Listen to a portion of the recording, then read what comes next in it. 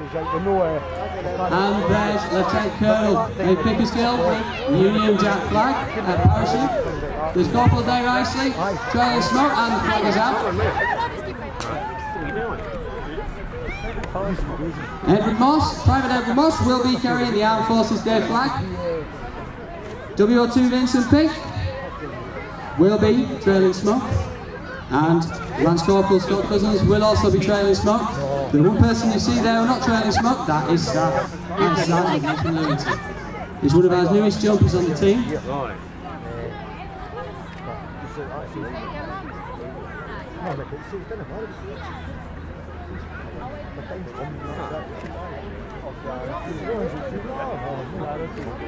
So they're doing their formation now with the patterns ready to come down for their landing approach.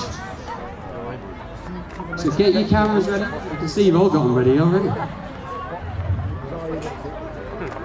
You see the smoke on the ground as well is a good indicator of where the wind is, with the direction of the wind is blowing. So that helps them come in to make a safe landing.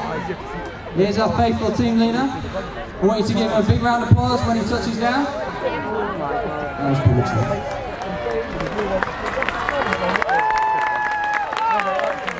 And nice good landing. And the Lieutenant Colonel, Colonel Dave Pickersgill. Give him a round of applause.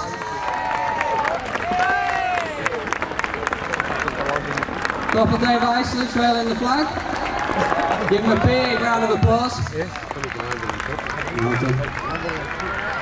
Private Ed Moss.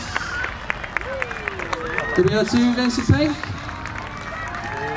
And Sam Nathan Newton, Lance Corporal Scott Cousins.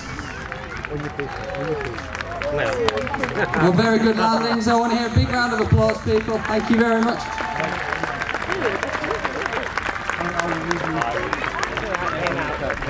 So as the team now We'll remove the kit. Yes, I stop.